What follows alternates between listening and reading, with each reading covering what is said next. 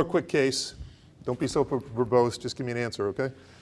67-year-old presents with microscopic hematuria, good performance status, CT chest, bone scan negative, no urologic complaints, past medical history is unremarkable. And again, you can see here this large tumor involving the posterior aspect of the left kidney. Here's the renal vein coming into the kidney right there. Here's the renal artery going into the kidney right there, and you can see there's this large tumor involving posterior aspect. All right. I don't, now I know what you can do, I know what you might do, I want to know what you will do, okay? One answer, Partial nephrectomy. okay?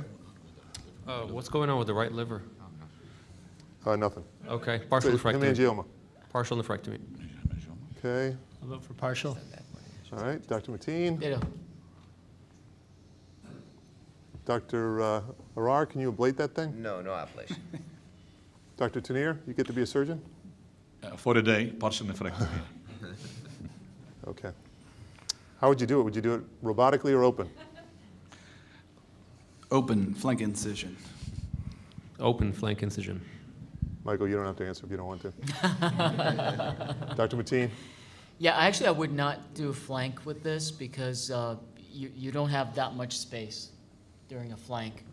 And for this, you really want to be able to kind of rotate the kidney and get it, get it off of all those blood vessels first and blah, blah, blah, blah, blah. So some technical things. I actually would consider doing this uh, robotically. Um, A lot of it just lies in the strategy of, of, of getting it off of the blood vessels before you do anything else, but, um, yeah, whatever, you know, robot, open, All right, well, again, this patient elected to participate in our neoadjuvant axitinib trial, got three months of axitinib, dose escalation to 10 milligrams BID, and here's the follow-up films. And you can see there's dramatic regression of that tumor. And although I agree with all of you that I would have done a partial nephrectomy, I think this was destined to be a much easier partial nephrectomy based on the response of the primary tumor to the axitinib. And the patient did undergo a left partial nephrectomy, and you can see that it was T1A, Fuhrman grade 2, confined to the kidney.